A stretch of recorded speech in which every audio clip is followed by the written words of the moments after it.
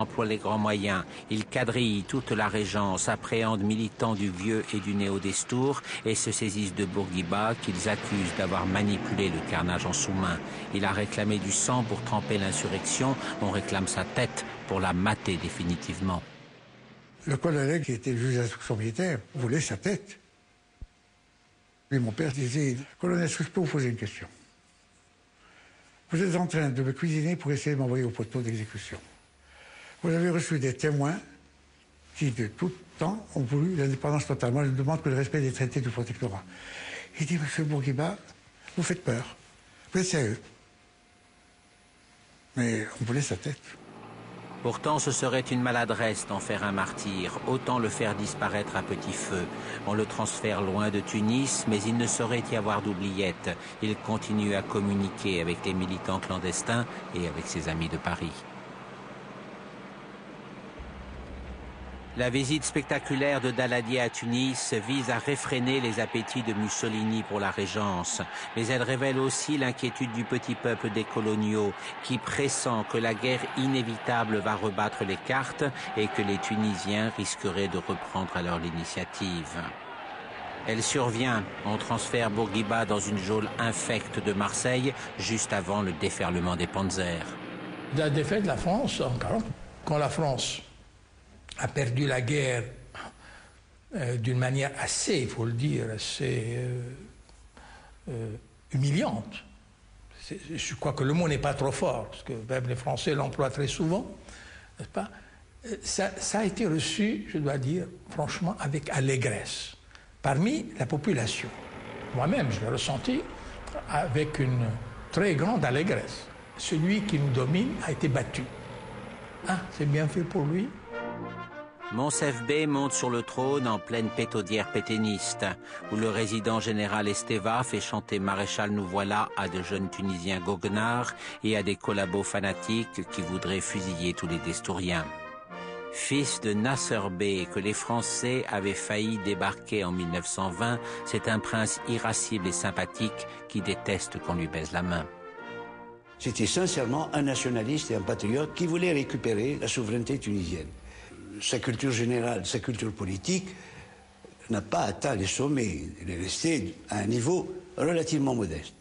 Ce qui a changé profondément, c'est l'entourage.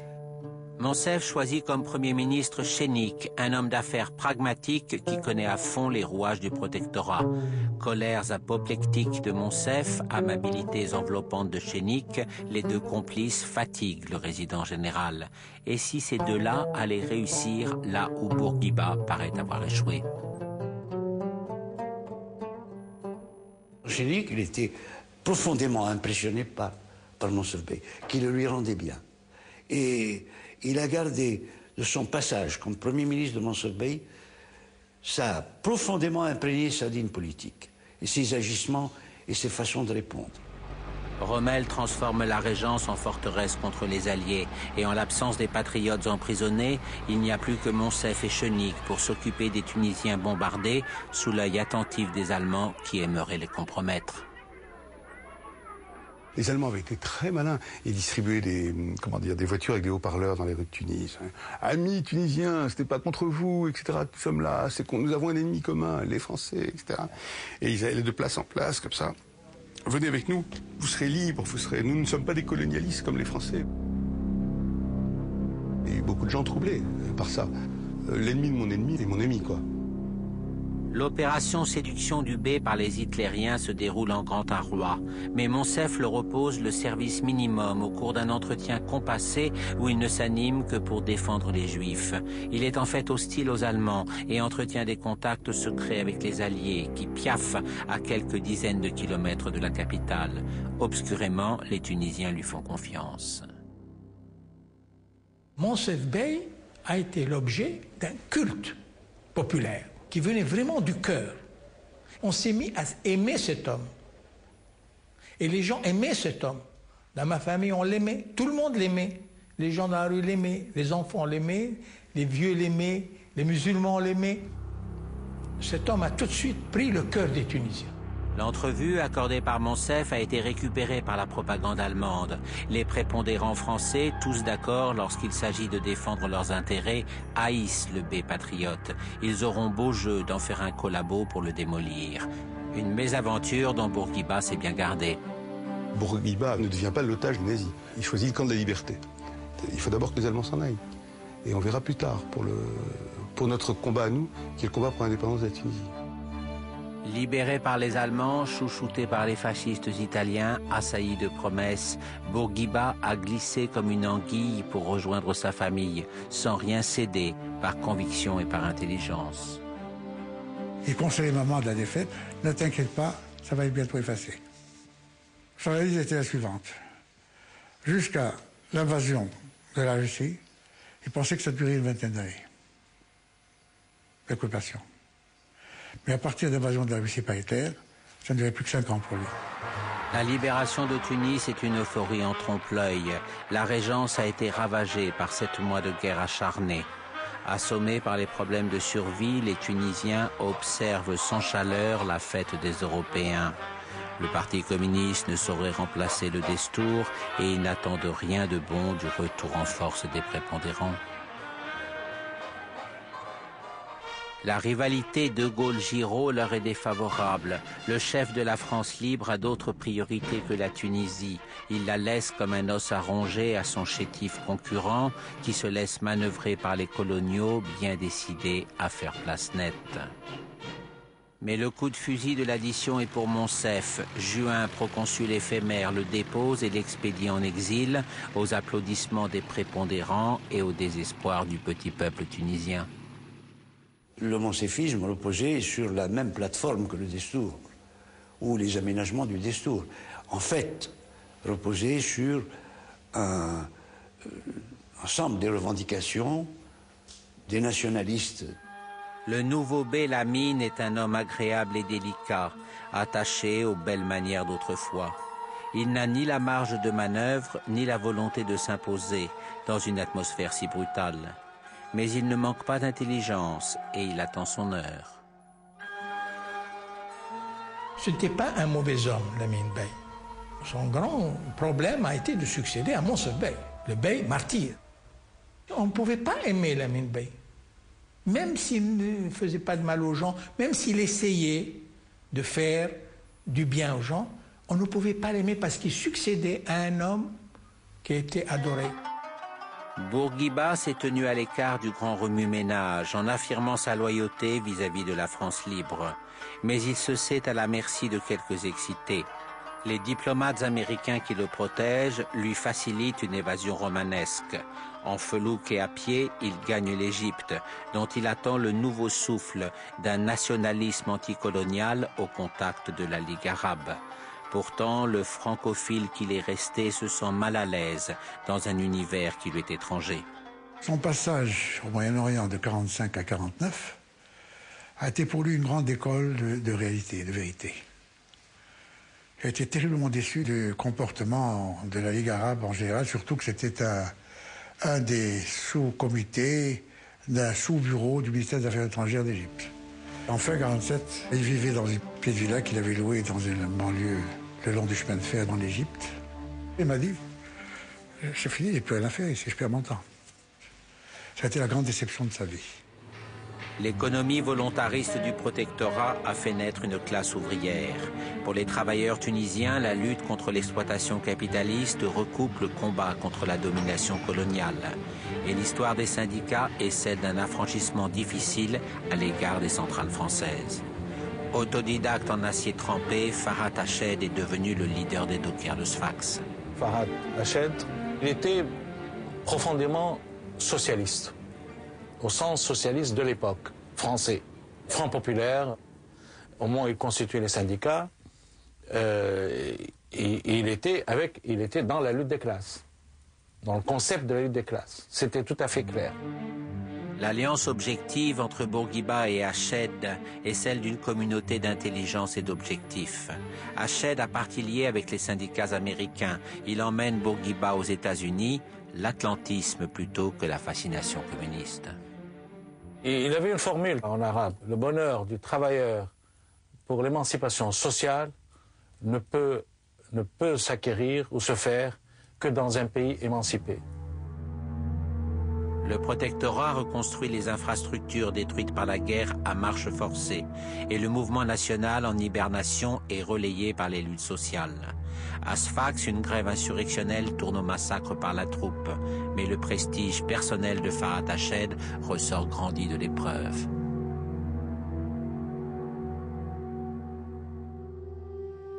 Monsef B, exilé à Pau, est traité avec respect, mais serré de près de peur qu'il ne s'évade. Il demeure le héros incontesté du patriotisme populaire. Sa réclusion et sa mort soudaine lui confèrent l'aura des martyrs. Pour la résidence, ses funérailles sont une affaire délicate à traiter avec doigté. Pour le néo-destour, qui se garde bien de le dire, c'est la fin d'une hypothèque. Et pour Lamine B, la voie est libre. En attendant, la Tunisie tout entière pleure le B du peuple. Monsef Bey, ses obsèques, quand il est mort, qu'on a ramené, c'est, je crois, les obsèques les plus importantes qui ont eu lieu. Je suis allé avec mon père au Gélal, c'était la ville était dans un état vraiment de pleurs. On entendait les gens pleurer à Gélal. Plusieurs années après, après sa déportation. Se souvient-on de Monsef B dans la Tunisie d'aujourd'hui comme il aurait mérité que l'on perpétue sa mémoire? Lamine B a noué depuis longtemps des contacts secrets avec le néo-destour. D'ailleurs, tout le monde cousine à Tunis et la cour chamarrée du souverain est un sérail bon enfant dont chacun connaît les détours. Bourguiba revient du Caire. Il est temps de reprendre en main le parti, dont il refait une véritable machine de guerre, animée par son verbe et son énergie, et dont les cellules s'enracinent dans chaque quartier et chaque village. Il lui a dit, vous savez, le parti, c'est une bonne chose, mais attention, à condition qu'il ne vous échappe pas. Attentif à l'évolution de l'idée coloniale, Robert Schuman a confié au résident général Périllier un programme de réformes qui conduiront à terme la Tunisie à l'indépendance. Le mot a été lâché et Bourguiba l'a bien entendu depuis Paris où il saute sur l'occasion. Bourguiba soutenait cette démarche. Il a fallu négocier, même à l'intérieur du parti. Il y a eu un conseil national, un débat c'est euh, conséquent. Euh, et le principe de la participation a été accepté. Lamine B a le feu vert pour remettre en selle Chénic, avec un gouvernement aux compétences élargies et qui a officiellement la confiance du néo-destour. Le B se sent enfin solidement assis sur son trône, les patriotes ont la parole, c'est l'embellie. À sa nomination, il y avait un très large consensus, un climat euphorique. Chénic subissait l'influence de l'ensemble de la population, qui le portait vers le destour compris. Ben Youssef est le numéro 2 du gouvernement, mais il sent bien que le soutien de son parti demeure sous condition. Bourguiba se méfie des réformes cosmétiques accordées d'une main et reprises de l'autre par les Français, et il reste en coulisses pour éviter de provoquer les colons et garder sa liberté d'action. Et maintenant à Paris, pour ceux qui croient au scénario, afin de vérifier les promesses de Schuman et établir un calendrier. Mais la quatrième République a les yeux furieusement braqués sur l'Indochine. Et on reçoit les Tunisiens comme des amis de province qui apporteraient des dates fourrées dans une famille où l'on s'envoie les assiettes à la figure. Ça a été une énorme maladresse. Ils ont eu le sentiment qu'on les avait fait venir pour les amuser, pour les promener et, et pour ne pas lâcher grand-chose. En plus, on les a humiliés. On n'a pas le temps, ce n'est pas le moment, revenez plus tard. Robert Schumann n'a plus l'air de se souvenir. Et il y a un autre Schumann, Maurice, qui lui se souvient très bien et pour qui c'est niet en français comme en arabe. Schumann a dit que à l'époque, il n'y avait aucun gouvernement de la quatrième République, avec cette assemblée-là, avec ces gouvernements de la quatrième République, qui pouvait donner aux Tunisiens ce que lui avait promis. Dépité, offensé, le cabinet chénique frappe à toutes les portes et traîne sa shopping list inutile dans les ministères. Bourguiba, qui avait senti venir le coup fourré, brandit la lettre de refus de l'autre Schumann sous le nez de Ben Youssef. Et moi, je te dis qu'ils se moquent de nous et qu'ils ne comprennent que la bagarre. L'opinion publique tunisienne était, était enflammée à l'époque. 15 décembre, rejet de la lettre, tout, tout ça, ça se savait. Ça se savait, la presse publié. Donc il y avait une atmosphère de, je dirais pas de révolte, mais d'extrême tension. Chénic n'est pas homme à se décourager facilement. De retour à Tunis, il incite le B à soumettre la question tunisienne aux Nations Unies. Lamine B hésite. Il sait que les Français prendront la requête pour un casus belli. Il craint pour son trône et sa nombreuse famille qui puise dans sa cassette. Le grand tort de Lamine Bey, il était entouré d'une camarilla de, fils, de gendres, de cousins, etc., qui étaient très, euh, qui n'avaient pas toujours une influence euh, Chauffé à blanc par Georges Bidault, qui voit au fond de ses nombreux verres de whisky la guerre séculaire entre la croix et le croissant, les Français de la manière forte ont trouvé le résident général bout de feu idéal, Jean de Haute-Cloque, qui arrive sur un navire de guerre avec un programme de réforme qui pourrait conduire à une annexion à l'algérienne. En somme, il fallait y penser, pour être libre, devenez français. Le premier contact, indifférence glacée. D'autres est entré, euh, à peine salué le bey, il lui avait dit qu'il voulait discuter avec lui hors la présence de Schlick. Euh, L'ami bey lui a répondu que c'était pas possible. Euh, donc D'autres est sorti pratiquement, d'après ce qu'on a dit, sans saluer le bey. Haute Cloque est un expéditif. À peine a-t-il fini de menacer le bey qu'il décime le Néo-Destour et expédie Bourguiba en résidence surveillée à Tabarka. Le moral d'acier du leader s'en amuse. Bourguiba sait qu'il ne s'agit que d'un hors-d'œuvre. Son subtil lieutenant Monji Slim, plusieurs journalistes français transmettent ses réflexions. La Tunisie est au bord de l'embrasement. Bourguiba disait il faut que lorsque nous sommes arrêtés, le peuple se soulève et, qu'il y ait tout le temps du tumulte, de la turbulence, y compris des, des actes violents, jusqu'à ce qu'ils comprennent qu'on ne peut pas arrêter le mouvement, qu'il faut nous libérer, renégocier avec nous et faire un pas de plus. Le raz-de-marée s'annonce par une houle indistincte. Grève générale à Tunis, où le néo-destour bloque toute activité. Escarmouche avec des manifestants contenus par les forces de l'ordre, puis viennent les premiers attentats visant des commerçants qui refusent d'appliquer la consigne. Encore plus de peur que de mal, mais la violence rôde avec les renforts réclamés par Haute.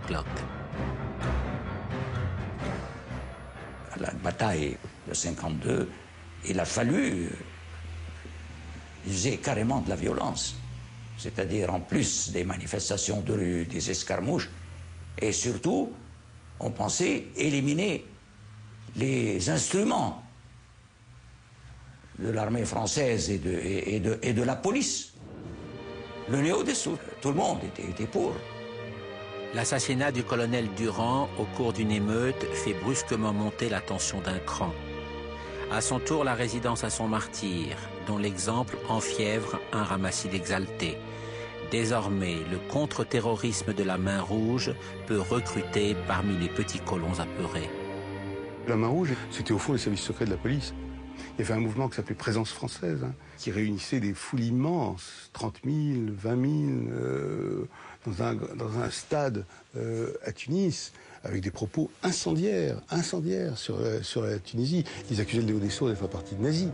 Haute-Cloque charge le général Garbet, rouleau compresseur de Madagascar, du ratissage du Cap Bon, supposé nid de destouriens truffé de caches d'armes. La Légion tue, incendie, viole, avec la rage aveugle de ceux qui se savent couverts. Les pseudo-terroristes arrêtés émeuvent par leur détresse une partie de l'opinion. Le compte est bon pour Chénic, qui a obtenu que l'on dépêche une commission d'enquête et dont la requête est finalement parvenue au Conseil de sécurité. Le B, menacé par le résident général de connaître le même sort que Monsef et à qui une villégiature perpétuelle en France ne dit rien qui vaille, lâche Chénic, aussitôt arrêté et expédié avec plusieurs ministres dans le sud saharien. Ben Youssef, cependant, a réussi à s'échapper à temps. Il s'exilera au Caire, début de sa dérive vers l'arabisme nassérien. Bourguiba attend son tour. Il ne se doute pas que ce sera pour la Galite, Sainte-Hélène à Langouste, au large de Bizerte. Tout va bien pour le résident général, qui ne sait pas qu'il a mangé son pain blanc et qui expédie des rapports euphoriques à Paris. Il nomme un gouvernement à sa botte, présidé par le grand bourgeois Bakouche, et en avant pour les fameuses réformes. C'est un homme courtois, affable, un, Tunisois de bonne famille, mais il a toujours servi le protectorat avec beaucoup de zèle. Il y a des, militants qui ont voulu lui faire son sort. Et quand il se promenait à Tunis en 52, sa voiture était assaillie par des coups de pierre, des jets de pierre des jeunes de, son quartier. Euh. Il ne reste plus que Farhat Hached pour tenir tête à haute cloque. Le résident général craint la Confédération des travailleurs qui peut paralyser la Tunisie et le syndicaliste lui en impose. Courtois, toujours tranquille, un type sûr de sa force. Haute cloque dit à Farhat Hached, passez me voir. Euh, vos déclarations maintenant et vos façons de bouger ne, sont pas du syndicalisme. Donc il lui rappelle les limites de son statut. Farhat Hached a souri sans répondre directement. Farhat Hached a peut-être des gros souliers de pauvre, mais il foule souvent les précieux tapis du palais, où il gronde le B pour ses atermoiements et lui souffle une manœuvre astucieuse. Lamine convoque 40 notables de tous les milieux pour examiner les réformes. Rejet unanime et fureur du résident général le B sort regonflé à bloc de cette première expérience semi-parlementaire. On raconte que Clock, le résident général, rentrait par une porte pour menacer le Bey et, de l'autre porte rentrait Farhat Hached pour lui dire « faut tenir bon, nous avons 50 millions de travailleurs à travers le monde avec nous, avec vous, n'ayez pas peur d'eux, ils ne vous feront pas comme ils ont fait à Montseau Bay, nous sommes là pour Haute Cloque, il faut se débarrasser de Farhat Hached, l'homme qui tient la classe ouvrière et les clés du palais, qui roule les airs comme un paysan et peut ameuter ses nombreux amis américains. S'en débarrasser, oui, mais comment? Il avait des menaces directes avec la main rouge. Il savait qu'il était suivi euh, quotidiennement. Il a déclaré son frère pour que la Tunisie accélère son indépendance, l'accession, il faut que l'un de nous trois meure. Bourguiba, Ben Youssef ou moi. Et comme Bourguiba et Ben Youssef ne pouvaient pas mourir, donc c'est lui qui devait mourir. Sur la route de Rades, près de Tunis, par un matin de décembre poisseux d'humidité, la Simca de Farhat tombe dans un guet-apens de la main rouge. Flic ripou et Nervi des bas-fonds l'abattent à bout portant. Haute cloque joue les effarés quand on lui apprend la nouvelle au téléphone. Farhat est resté dans le cœur des gens avec cette image du vrai héros. Il a fondé en Tunisie euh, cette conscience, euh, la conscience sociale, et la conscience de la place du travailleur, et la place du travail, et la place de la classe ouvrière en Tunisie qui est devenue incontournable. Abasourdi, la Tunisie reste un temps immobile, puis c'est l'insurrection, d'autant plus violente que les patriotes n'ont désormais plus de chef. Les gardes mobiles enserrent le pays dans une nasse de fer, couvre-feu et désolation sur les nuits de Tunis, qui furent parfois si charmantes, mais nul ne sait plus quand. Enfin, le résident général jure que la crise est passée et il se trouve toujours assez de renégats pour abonder dans son sens. Il joue au père tranquille à la mission accomplie, le B affolé par le déchaînement de la violence a signé les réformes. Ce n'est plus qu'un vieux monsieur bien seul que Bourguiba accuse de trahison depuis le fond de son rocher. La Galite, ça peut être joli en plein été, mais il faut quitter la mise du touriste tout le reste de l'année. Vent glacé, logis suintant, un caboteur par semaine. Bourguiba relit Victor Hugo en se persuadant qu'il est à Guernesey. Mais ses amis de Paris ne l'ont pas oublié. Il lui dépêche le socialiste Robert Verdier, dont la visite contribue à lui assurer la vie sauve. Bourguiba est là, enfermé, isolé dans une île, euh, coupé de son pays, et voilà qu'un Français vient le voir. C'est quelque chose de très important pour lui. Euh, c'est une forte personnalité, Habib Bourguiba. Il m'a impressionné tout de suite. Quand je suis arrivé, très vite, il s'est levé et il s'adressait à moi comme si j'étais la foule. Tout de suite, j'ai senti que j'étais avant tout euh, un homme de parole. Dès ce moment-là, j'ai pensé que ce serait le leader du mouvement nationaliste tunisien. Alain Savary suivra un peu plus tard et d'un mois sur l'autre la bonne Mathilde, sa fidèle épouse française, qui rapporte dans son couffin à Tunis les précieuses directives du combattant suprême, un relégué transi de froid qui crache ses poumons devant la mer hostile. La vérité, l'espoir était très faible pour nous à l'époque. Bourguiba disait l'essentiel, ce n'est pas de descendre dans la rue, mais l'essentiel, c'est d'assurer que les gens qui descendent dans la rue, que lorsqu'ils voient le sang couler, ne renoncent pas à revenir de nouveau dans la rue. Il y a désormais plus dangereux que les rues citadines. Au bled, dans les montagnes, des partisans coupent les routes, font sauter les trains et attaquent les fermes de colons isolés. On les appelle félagas, comme les bandits de grand chemin. Et il est vrai qu'ils sont durs à maîtriser, même pour les militants clandestins du Destour. Qu'est-ce que c'était que ces félagas le bled devenait incertain, les voitures roulaient mal la nuit, on se disait qu'est-ce qui va se passer, et puis on tirait dans le tas. Euh, on tuait des, fermiers, des colons dans leurs fermes. Euh, il y a eu comme ça des, choses épouvantables. Et alors nous, c'était le fantasme à état pur. Ces félagas étaient partout. Les félagas répandent la terreur parmi les colons qui s'arment pour se défendre et exaltent leurs bons serviteurs attachés aux bienfaits de l'œuvre de la France. Mais ils s'en méfient aussi et se retournent contre eux à la première alerte. Le soupçon, le racisme et la haine traversent les villages assommés d'un silence de plomb rythme lent des corbillards. On massacre à tout va, le néo-destour n'est pas en reste, qui assassine le maire de Tunis et un prince bellical trop assidu à la résidence. À chaque meurtre, on sort des otages emprisonnés pour les coller au mur. Le matin à 5 heures, on entend du bruit. Tout le monde se met à crier, toute la prison. Mille détenus, on était patriotes. Hein communistes et destouriens, et ceux qui n'étaient ni communistes ni destouriens. Trois qui sortent et qui commencent dans les couloirs de la prison, sachant qu'ils allaient être fusillés, à crier et à chanter Houmat al-Hima. Et toute la prison, mille, qui commencent à chanter Houmat al-Hima. Les murs de la prison, qui ont un mètre de largeur, tremblaient. Les murs tremblaient. Ils bougeaient par ces chansons, par cette, cette haine qu'on avait, cette fureur qu'on avait, parce que ces trois allaient faire le peloton d'exécution et jusqu'à la dernière minute, ils chantaient et refusaient qu'on leur bande les yeux. Ça, c'est une chose que moi, je ne, je, ne peux pas oublier. C'est une chose qui y a en moi. C'est ça le peuple tunisien. Et c'est ça qui a fait l'indépendance, qui dépasse toutes les clivages, qui dépasse tout ce qu'on peut raconter, tout ce qu'on peut euh, raboter par-ci, arranger par-là, qui dépasse les chefs et les sous-chefs, qui dépasse tous les aïms c'est ça le peuple tunisien. Le temps passe. Dans la torpeur estivale, Tunis soigne son spleen à coups de plaisir de canicule et de rumeurs invérifiables. On dit que ça se calme un peu, que Bourguiba a été transféré en France, qu'il se prépare quelque chose. Allez savoir.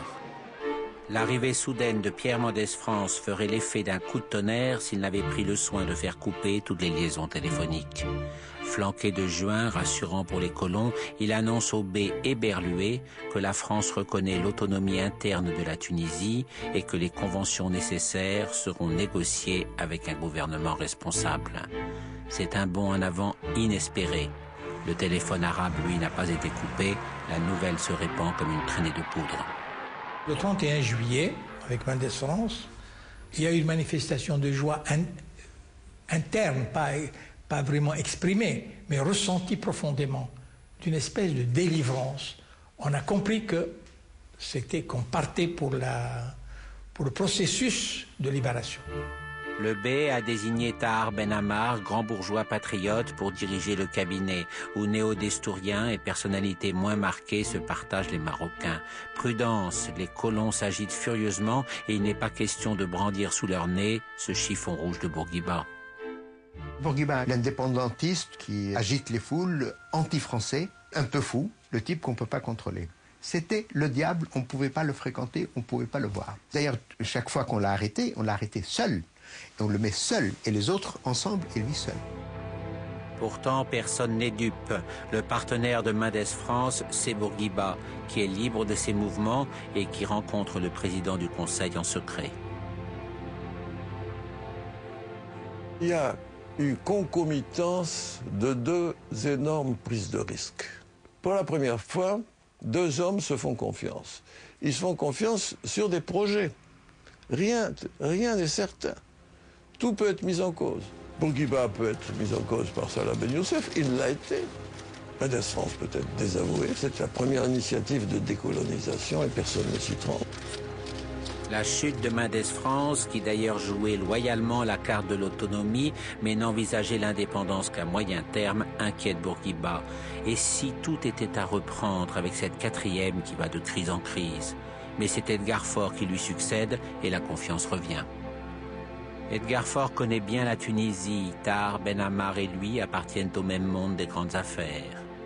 Bourguiba resserre d'autant plus son emprise. Il ne faudrait pas que ces deux-là s'entendent sur son dos. Ils obéissaient au doigt et à au néo-destour. Le néo-destour était tout. Ceux qui étaient là savaient qu'ils ne représentaient presque rien. Qu'on les considérait, qu'on les maintenait, mais qu'ils ne représentaient rien. Le président du conseil, vous savez très bien que c'était Bourguiba qui commandait. Le problème le plus urgent à régler est celui des Félagas. Edgar Faure refuse de négocier sous la contrainte et seul le Destour est en mesure de désarmer les partisans. Mais c'est à Bourguiba de trancher. Il pèse de tout son poids sur le parti. La guerre d'Algérie avait commencé. Les Français avaient peur de la contagion. Il y avait comme moyen de pression des Félagas. Le Nord-Destour favorisait ça parce que Bourguiba a toujours dit négociation et pression sur les négociateurs. Les Français ont dit aux Tunisiens euh, il faut désarmer les Félagas, sinon la négociation s'arrête. Tout le monde était contre. Bourguiba a dit je vous demande de le faire, faites-moi confiance. Désarmer, c'est-à-dire qu'ils descendent ce que nous appelons nous la montagne avec leurs armes, qu'ils les remettent aux officiers français, qu'ils partent nus, comme on dirait. Non, ils l'ont fait pour Bourguiba à la demande de Bourguiba. En fait, Bourguiba redoute les ferments du désordre dont les Félagas pourraient envenimer l'état qu'il médite. Et il refuse toute surenchère violente alors qu'il préconise de procéder par étapes pour réussir une émancipation complète. Cependant, les discussions traînent. L'autonomie, c'est un partage que la bureaucratie complique à plaisir. Je vous rends l'hôpital et je garde le collège. On claque les portes, on renoue, on recommence. En tout cas, il faut sortir des faux semblants. Edgar Faure discute de plus en plus souvent directement avec Bourguiba, ravi d'être à Matignon, mais guère plus accommodant pour autant. Bourguiba et Edgar Faure ont discuté et j'entendais des cris. Cris, Bourguiba crie. Jamais il l'aurait fait avec Mendes, jamais. Crie. Dit, excusez-moi madame, dit, vos conventions, c'est de la foutaise, vous savez très bien qu'elles ne tiennent que par moi. Finalement, les conventions sont prêtes, aussi détaillées qu'un contrat de mariage entre deux vieux amants qui traînent les inventaires de leur vie commune. Ennuyeuses à lire, mais au fond qui s'en soucie, puisqu'on sent déjà qu'elles sont inapplicables. J'ai compris par la suite que ni Bourguiba ni Edgar Faure n'avaient lu le texte du projet de la Convention générale en revanche, Tahar Ben Ammar et le président Coty les ont apprises par cœur. On les comprend. Le vrai scénario appartient au premier rôle qui rentre à Tunis pour la grande scène. Une flottille surchargée de drapeaux escorte le navire depuis le large et Bourguiba pleure d'émotion en apercevant la multitude qui a envahi le port de Tunis pour l'accueillir. La femme de Farhat Hached, celle de Eddie Shaker, deux victimes de la main rouge, le serrent sur la passerelle. Tout le gouvernement est là, les enfants du B et bien des notables qui ne l'avaient pas soutenu jusqu'alors. Yahya Bourguiba, vive le leader, il retrouve enfin la ville qu'il avait quittée quatre ans plus tôt entre deux rangées de gendarmes qui l'insultaient. Il va saluer le B, qu'il embrasse comme on retrouve le fils prodigue. Le temps où il lui renvoyait ses décorations pour lui reprocher sa faiblesse est bien oublié. Personne ne songe qu'il n'est encore officiellement rien, puisqu'il est en fait tout, et que ceux qui ont l'air d'être tout ne seraient en vérité plus rien sans lui. En voiture, sur des épaules, à cheval, il parcourt la capitale en folie. C'est le plus beau jour de sa vie, celui de tous ceux qui se pressent pour l'apercevoir, celui de son fils aussi, qui le protège comme il peut de l'enthousiasme collectif. On s'attendait à une très belle réception, mais c'était beaucoup plus. Des retrouvailles. Ah, comme ça, dans une vie, c'est beaucoup. C'était fou. Vivre vraiment comme ça, c'est déjà beaucoup pour une vie. C'est rare. Il faut convaincre maintenant les masses impatientes de la justesse d'une stratégie par étapes qui a permis d'éviter une épreuve de force aux conséquences imprévisibles. À Kérouan, la foule lui donne raison, mais au parti, beaucoup se rangent à l'avis de Ben Youssef, qui exige l'indépendance immédiate. Ben Youssef avait marqué pendant la période de, transition une dépendance très nette vers les mouvements euh, arabistes excessifs qui pouvaient entraîner la Tunisie dans une, dans une dynamique dont on ne voyait pas à quoi elle pouvait aboutir. Ce n'est plus son vieux camarade qui revient du Caire, mais son rival désormais qui évite son regard et piétine ses directives. Ben Youssef appelle aux armes contre ce qui reste du protectorat.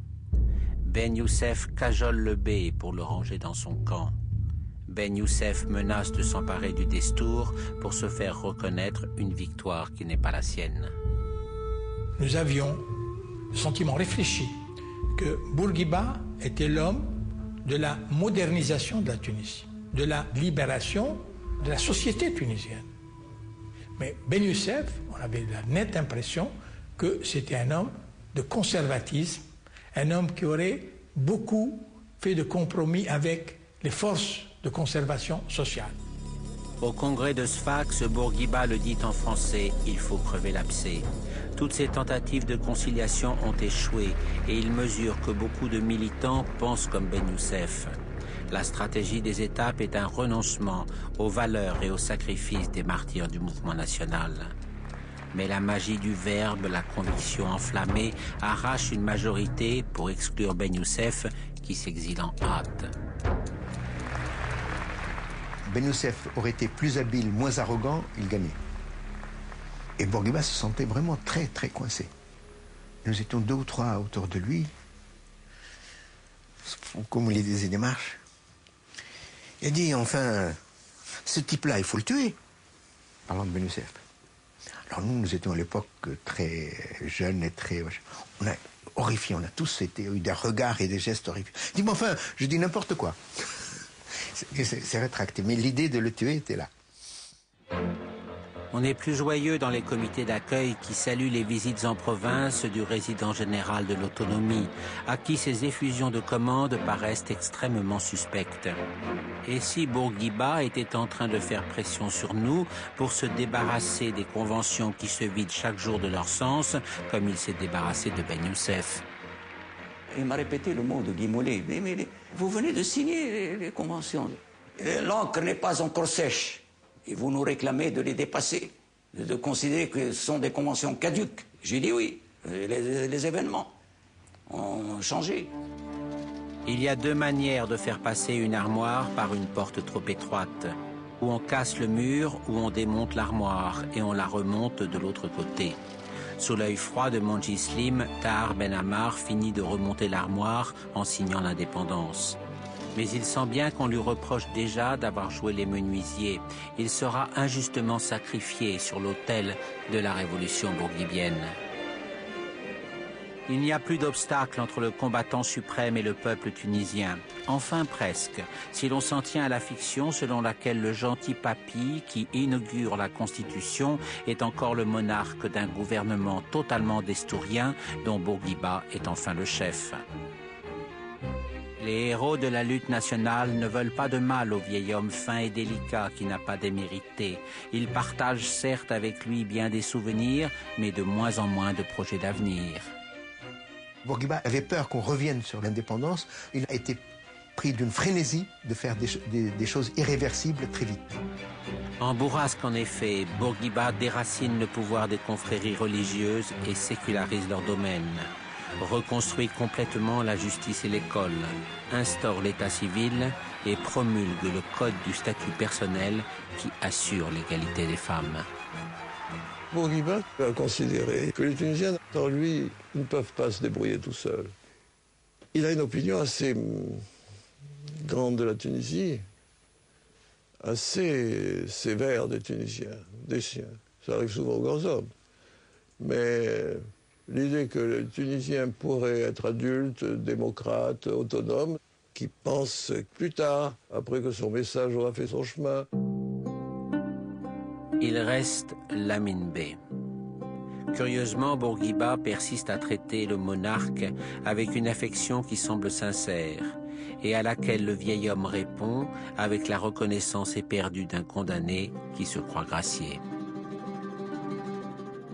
Si Lamine Bey était resté, ses enfants, etc., tous les opposants au régime de Bourguiba, donc toutes les séquelles du toutes les du youssefisme, aurait trouvé la protection et le refuge chez la famille Bellica, ce qui aurait reporté s'inédier toute réforme fondamentale de la Tunisie.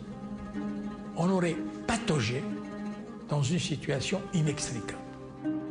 La visite officielle de Mohamed V donne le coup de grâce. Bourguiba s'offusque de devoir monter dans une voiture du cortège au lieu de partager la décapotable du roi du Maroc, qui traite de surcroît son infortuné collègue tunisien avec une courtoisie appuyée dont il se montre plus avare à l'égard du combattant suprême.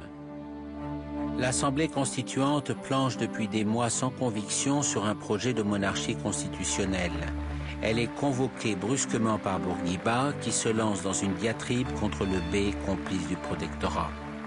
Il est moins éloquent que d'habitude, peut-être des souvenirs des temps difficiles où Lamine prenait sa défense. Mais la République est une formalité ratifiée de tout cœur par les belles de Tunis. Il n'y a plus de courtisans, plus de gardes, plus de serviteurs au palais bellical juste le dernier souverain fataliste d'une dynastie balayée comme un grain de poussière ottomane. Nous sommes rentrés, nous avons trouvé le B dans la salle du trône. M. Mestiri, Ahmed lui a lu la décision de l'Assemblée constituante qui proclamait la République, nommé et nommé Bourguiba président de la République. Il a dit Allah Iberk que la volonté de Dieu soit faite. Allah Iberg. Et il y avait dehors des photographes de presse. Il m'a dit, s'il vous plaît, Aïchouldi m'a dit, s'il vous plaît, dites aux photographes de, de s'éloigner. J'ai dit aux photographes, éloignez-vous, sauf celui de la police. Spontanément, j'ai accédé à cette demande, parce que c'est comme ça. Il a demandé ça sur un ton tellement humble que je n'ai pas pu refuser. Et Bourguiba m'a toujours reproché ça. Il a dit c'est lui qui m'a privé de photos historiques de Lamine Bey sortant du palais de Carthage. Il voulait les photos. Quelques mois plus tôt, Bourguiba présidait l'inhumation des cendres de Farhat Hached, avec Chénik, Tar Ben Amar, les enfants du B, les camarades des Stouriens, au milieu d'une foule énorme toute la patrie tunisienne et les acteurs de son indépendance. S'est-il alors demandé qui était vraiment le combattant suprême Le leader inspiré dont on inscrivait le nom sur les rues principales ou le peuple qui montait avec lui pour s'incliner devant la mémoire de l'un des siens?